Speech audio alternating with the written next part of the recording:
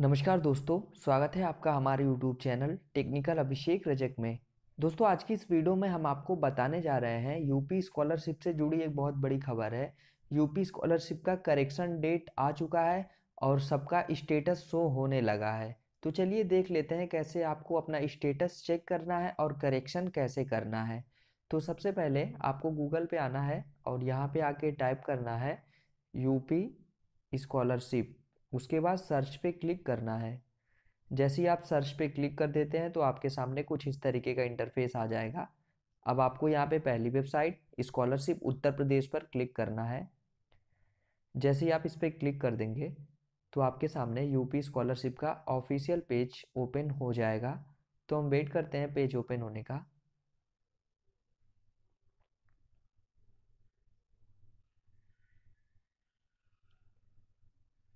Page open होने के बाद आप यहाँ देख सकते हैं, आपके सामने कुछ इस तरीके से इंटरफेस आ जाएगा। अब आपको करना क्या होगा, यहाँ एक तीन लाइन दिख रही है, आपको इस पर क्लिक करना होगा। जैसे ही आप इस पर क्लिक कर देंगे तो आपके सामने कई तरीके का ऑप्शन खुल जाएगा। अब आपको स्टूडेंट पर क्लिक करना होगा।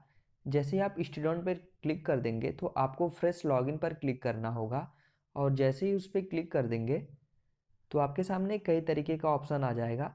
तो आप यहाँ से post merit other than inter student login select करते हैं। अगर आप प्री मैट्रिक्स हैं तो आप प्री मैट्रिक्स सिलेक्ट कर लीजिएगा। तो चलिए हम अपना सिलेक्ट कर लेते हैं। जैसे ही आप सिलेक्ट कर लेंगे तो आपको लॉगिन करने के लिए कहा जाएगा। तो यहाँ पे आप अपनी सारी डिटेल को डाल के लॉगिन कर लीजिए। तो चलिए यहाँ से हम अपने रजिस्ट्रेशन संख्या को डाल देते हैं।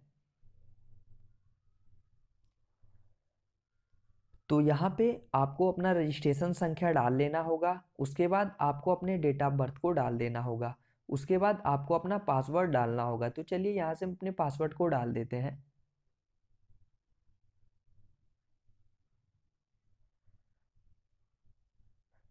पासवर्ड डालने के बाद अब आपको ये कैप्चा कोड डाल देना होगा तो चलिए यहाँ से डाल देते हैं।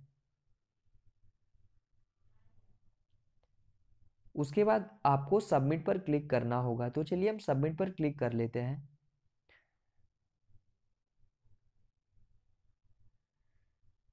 जैसे ही आप सबमिट पर क्लिक कर देंगे तो आपकी पूरी डिटेल आपके सामने ओपन हो जाएगी। तब आप यहाँ देख सकते हैं हमारी पूरी डिटेल ओपन हो चुकी है। अब आपको नीचे आना होगा और जैसे ही आप नीचे आएँगे तो यहाँ पे देख सकते हैं लिखा गया आवेदन पत्र को संशोधित करें।